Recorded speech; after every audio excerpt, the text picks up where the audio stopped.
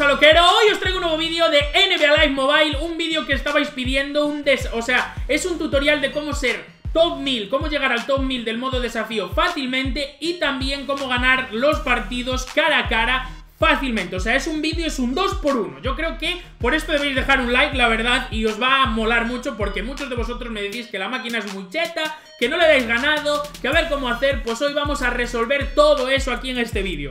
Lo primero de todo que tenéis que ver es qué, qué, qué boost tenemos para ganar más fans. Tenemos que jugar los partidos cara a cara con el máximo de fans posibles. En este caso, la semana, esta semana tenemos a Phil Jackson que nos da un, un 15% en fans y como veis, si tenemos un banquillo de 80 de media nos da un 25% en fans. Si tenemos una alineación eh, actual, tenemos que buscar también jugadores favoritos de los fans que nos dan un pequeño porcentaje en fans y podemos aumentarlo pues un 15% más. Podemos tener casi hasta un 90% más de fans con la alineación clásica. ¿Qué pasa? Que la alineación, eh, eh, perdón, con la alineación actual, con la alineación clásica es más difícil, es más fácil, entre comillas, llegar porque no hay alineaciones tan chetas eh, como alineaciones actuales porque la gente pasó de ellas en su momento. Por otro lado, este es un buen modo para conseguir monedas y poder conseguir jugadores la gente que no tiene mucha pasta y poder conseguir un jugador de 95, quedárselo o venderlo y sacar 2 milloncitos de moneda. Lo siguiente, lo tengo todo por aquí apuntado porque si no me iba a hacer la picha un lío. Lo siguiente, eh, para llegar a, ser Hall of Fame necesitamos al menos 2,2 millones. Para llegar al top 1000 necesitamos al menos 2,2 millones. Para Hall of Fame necesitamos 2, pero necesitamos un poquito más para ser ese top 1000. Eh, yo la semana pasada quedé de 1500 teniendo millón y medio de fans. O sea que a poco más que hubiera jugado, porque luego cuando estás en millón y medio y ganas un partido, igual avanzas 10 posiciones o algo así. Hasta el millón de fans, yo lo que os aconsejo si tenéis una plantilla algo decente es que dejéis jugar a los jugadores solo. Vosotros jugáis los cuartos, le dais a jugar automáticamente y listo. ¿Por qué? Porque cada, eh, por, cada partido vais a ganar 12.000 fans y por cada partido perdido vais a perder 1.500, 2.000 fans. O sea, es decir, vais a tener que perder 6 partidos seguidos para, recuperar, para perder, digamos, lo que habéis ganado en uno solo.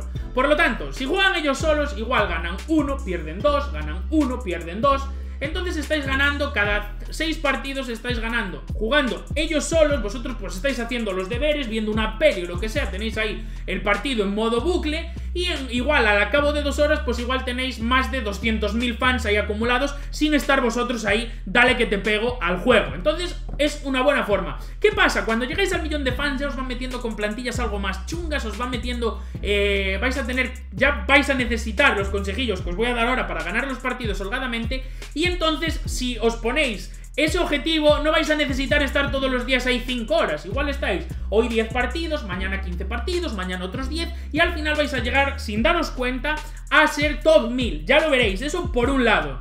Lo siguiente que tenéis que tener en cuenta, al final de todo os voy a mostrar un vídeo de un partido para que lo veáis, pero os lo voy a contar así porque me va a ser más fácil a mí y lo vais a entender más fácilmente. Eh, lo siguiente que tenéis que tener en cuenta es que si no nos dan eh, un bonus de entrenadores, yo jugaría en la alineación clásica con un entrenador potente y en la actual con un entrenador equilibrado. Porque eh, los otros entrenadores, eh, la manera de defender que tienen los jugadores es muy rara y tiende mucho la máquina al contraataque, al contragolpe. Y es lo que no quiero que hagáis en los partidos, que juguéis un correcalles. Si jugáis un correcalles contra la máquina vais a acabar el partido con 15 puntos en contra y 7 a favor. O sea, vais a perder el partido de calle. Yo lo he hecho a veces y creerme que es una locura, porque la máquina te va a encontrar sitios por todos lados. Lo siguiente que tenemos que tener en cuenta y que tenéis que poner es los cambios en manual. Para tener los cambios en defensa manuales tenéis que venir a ajustes, editar preferencias, aquí cambios en defensa, ponerlos manuales porque os va a ser mucho más cómodo a la hora de jugar por los consejos que os voy a decir.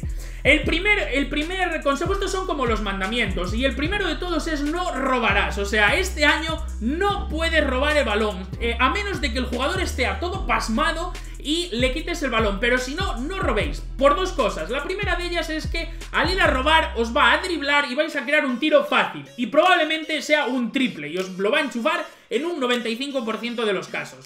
El segundo caso es que os va a descolocar la defensa, porque en el momento que os drible, vuestro alero, vuestro escolta, van a venir a la ayuda, van a crear ahí un pequeño 2 contra 1, la máquina va a doblar el balón, va a estar en uno en una esquina solo, y otra canasta fijo, segura. Que no, vuestro pivot va a salir a defender aquel, va a meter el balón dentro y va a haber ahí un boquete tremendo. Lo siguiente, no descolocar a la defensa. ¿Cómo no descolocamos a la defensa? Con lo que, os acabo de decir ahora, poniendo la defensa manual. Lo que tenéis que hacer es tener manejado a vuestro base y defender al base contrario. Eh, tener en cuenta que si mantenéis el botón pulsado ya sabéis que hacemos el marcaje. Bueno, pues cuando ese jugador, el escolta o el base del equipo contrario pase el balón, tenéis que cambiar de jugador. Pasamos a otro de los grandes motivos de queja de este juego que son los rebotes. Tengo otro que os lo voy a enseñar en el juego. Eh, otra forma de, o sea, otro, otro mandamiento, digamos, pero que lo veréis en un cuarto. Los rebotes. ¿Cómo tenemos que hacer con los rebotes? Si tiran de fuera, tenemos dos opciones. La primera de ellas es dejar a la máquina que ella sola pues vaya por el rebote y haga lo que le dé la gana con un pivot. Generalmente lo van a coger en un 85% de los casos. Si no lo cogen, lo que tenéis que hacer es cambiar con la defensa manual al jugador al pivot y quedaros quietos, no moveros porque vais a crear un tiro en oposición, un tiro en contacto. Si cambiáis porque todo el mundo tiene la costumbre, y yo también, de cambiar de forma rápida al pivot y ir a saltar, lo que vais a provocar es que en el salto os coja el rebote y os haga un mate. Que lo tenéis manejado, siempre crear un tiro en contacto. Otra cosa es que no haya nadie en la zona del equipo rival, cambiéis a vuestro pivot para coger el balón fácilmente. Si os meten el balón dentro, mantener la posición hasta el último momento que veáis que tire y si no, que choque contra vosotros porque vais a tener más opciones de que falle. Luego están los tiros que llegan y tiran y ponéis el tiro en eh, la, mano en la cara y os van a meter igual. Esos no hay nada que hacerle, pero de esos en un partido pueden saliros pues dos o tres, pero mm, seis puntos comparado con los 15 o 16 que podéis hacer vosotros no son nada. ¿Cómo atacar? Os lo voy a enseñar, algunas de las cosas os las voy a enseñar en el, en el partido y otras os las voy a decir aquí. Lo primero que debéis hacer, los triples os lo voy a enseñar, caracolear, por caracolear, para tirar un triple caracolear por la línea de 3. Va a llegar un punto, vuestros pivots van a empezar a bloquear por ahí y va a llegar un punto en que vais a tener una ventaja. Siempre vais a tener una ventaja de tiro y vais a meterlo casi siempre. Lo segundo, transiciones rápidas. Si cogéis el rebote en defensa, sacar el balón rápido y transición rápida. Al primer jugador que veáis que está arriba, sin que sea el pase muy largo, porque si no la vais a perder. Pero sí, eh, cogéis el balón, el escolta va a ir por un lado, el aero va a ir por el otro, pasáis, corréis y canasta segura. Otra de las cosas que podéis hacer si estáis atascados en ataque, metéis el balón dentro y os van a ir un 2 contra 1, sacáis fuera, canasta 100% segura. Otra cosa es que si metéis una canasta con un pivot o con un alero, lo que tenéis que hacer es correr pitando con ese alero a defensa, porque si no nos van a generar un contraataque y una eh, una canasta fácil, porque ya os digo que nuestra defensa va a estar descolocada y nos van a meter una canasta sencilla. Vamos a ver todo lo que os dije en un partido y eh, os voy a explicar dos cosillas más, lo de no descolocar la defensa y os voy a explicar un poco eh, de cuándo nos meten ellos, cómo hacer. Bueno, lo primero, sacamos de, fondo... Yo lo primero que hago si tengo un ala pivot tirador es pasarle aquí y tirar ya con este. Incluso Rodman igual metería el balón. Pero bueno, caracoleamos con Rodman, lo que os digo, y ahí está, canasta fácil. ¿Qué hago? Corro con Rodman, cojo a Rodman y corro para abajo, porque van a meter el balón dentro y me van a crear una canasta fácil. Eh, fijaros, ahí está, ya metí el balón dentro, he tenido la suerte de que la he robado, pero si no sería una canasta fácil. Lo que os digo de caracolear con los triples es lo siguiente. Fijaros a Will Chamberlain que está por ahí, por, por la zona, pasáis por detrás de él y vais a tener una opción ahí de tiro. Fijaros que siempre tenéis, o sea, está algo lejos vuestro rival y ahí está, un triple fácil. ¿Qué hago ahora? Cojo a Carry y lo de no descolocar a la defensa es lo siguiente. Hago el marcaje, fijaros ahora viene aquí un 2 contra 1 Bradley, pero hago el marcaje, ahí está, con Carry. Que pasa el balón, muevo y cambio el control y ahí está, fijaros, la máquina coge solo el rebote. Fijaros cómo he cambiado el jugador... Eh de carry a, Rodman para, que, para no mover la defensa. ¿Qué hago ahora? Pues puedo meter el balón dentro. Meto a la River, fijaros que van a venir dos. Ahí está, el 2 contra 1. Saco fuera, aquí en este caso está Rodman, que no me vale para nada, pero la doy a Carry. Fijaros que la River hace ahí ese, ese bloqueo y ahí está otro triple de Stephen Curry. En defensa, más de lo mismo. Yo voy a Jason Kidd con Carry, a defenderlo. Lo defiendo, lo defiendo. ¿Qué pasa el balón? Pues muevo. El rebote, ahora me han metido. Pues no hay nada más. Ahora han metido, cojo y voy a buscar al que me han metido. Ahí está, han recuperado la posición bien. pero vuelvo a sacar el balón. Fijaros a Bradley que estaba prácticamente solo, aquí me he equivocado yo, y he hecho una pedrada. Fijaros aquí, la River solo, ahí está, canasta fijo. 2-10, aún queda un minuto. En defensa, lo que os digo, siempre al jugador. Ahora cambio, lleva Garnett el balón, es algo lío al principio, pero fijaros, defiendo al hombre para no crear eh, desventajas. Ahí, tira encima, canasta, pues ¿qué le vamos a hacer? Volvemos a sacar, volvemos a sacar. Se la damos a la River, que está, viene por aquí. Caracoleamos, caracoleamos.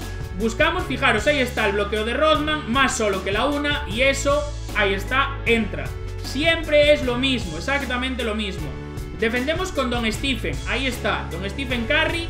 Defendemos, Jason Kidd se nos va y se encuentra con el señor Dennis Rodman o Chamberlain, no sé quién era. Salimos a la transición rápida y canasta. Ahí está, no hay más, es así, todos los cuartos igual. Salimos con Curry ahora, defender a Jason Kidd. No con Bradley, con Curry. Tenemos ahora aquí un desemparejamiento, pero bueno, defendemos lo máximo que podamos. Ahí está, ha fallado, nos han cogido el rebote y canasta fija. Lo que os decía, por mover, por coger a mi jugador y moverlo a la zona que no era, fijaros ahí la descolocación. Tenemos a Carry, calacoleamos un poco, está bastante lejos, no van... Pues mira, ahí está. El triple de Carry y es como se juega un cuarto. No hay nada más. Lo que os dije al principio y lo que visteis en el cuarto mm, sobre todo, no descolocar la defensa. Y fijaros que él me ha ganado de 11, o de 10, perdón. Fijaros que me ha ganado de 10, he ganado yo de 12, aún así podía haber perdido. Pero fijaros cómo se juega, o sea, cómo se hace en el cuarto para ganar holgadamente, para llevarse un número de fans bastante holgado y sobre todo lo que os dije, no descolocar la defensa, transiciones rápidas, caracolar en los triples, eh, no ir al robo. Fijaros que no he robado ni un solo balón y aún así ha habido canastas por ahí que la defensa se ha descuadrado un poco y veis que siempre nos generan eh, oportunidad si la defensa se descuadra. Y yo creo que más o menos eso es todo lo que puedo contaros. Espero que os sirva para ganar. Vamos a abrir un par de sobres. Eh, uno de 600.000 que tenemos por ahí y otro de... No, no está el de 600.000 ya. No está el de 600.000. Vaya por Dios. No está el de 600.000. ¡Qué pena! Pues nada, abriremos este de aquí. Ahí está. Pues abrimos este... Eh, dos de... Abrimos dos de 300.000. A ver lo que nos sale. Ya que no tenemos el de 600. Vaya por Dios. Tenemos ahí un escudo de lo, un eh, logo de los Jazz. Que sabéis que han sacado nuevas posiciones. Eh, ya os voy a hablar mañana en un vídeo. Goran Dragic de nuevo. Os voy a hablar en un vídeo de los eh, de lo nuevo que ha salido. Mañana probablemente tendréis vídeo de la suposición de lo que va a salir y pasado tendréis vídeos de si sale rentable hacer los máster o no, de lo que me he dado cuenta. Vamos a ver de quién tenemos eslogan aquí. Tenemos eslogan de, vamos a ver, vamos a ver, de los Miami Heat y tenemos a John Wall de nuevo. Bueno, pues no está nada mal. Venga, vamos a abrir otro. Ya me estoy gastando aquí un pastizal, 900.000 monedas. Vaya por Dios, vamos a liberar y vuelvo. Pues nada, chavales, ahí vamos entonces con el último sobraco. Vamos allá, vamos allá. Ahí estamos, superestrella. Otro lo eslogan de los jazz. Ya tenemos ahí eslogan, eh, casi todos los eslóganes, o sea, los dos eslóganes. Y Marcin Gortat, 85 de media. Bueno, cartas que se venden en una miseria. Espero que os haya gustado el vídeo, que os suscribáis al canal. No os olvidéis darle a like. Y nos vemos mañana con más NBA Live Mobile con esta actu de los playoffs. Adiós.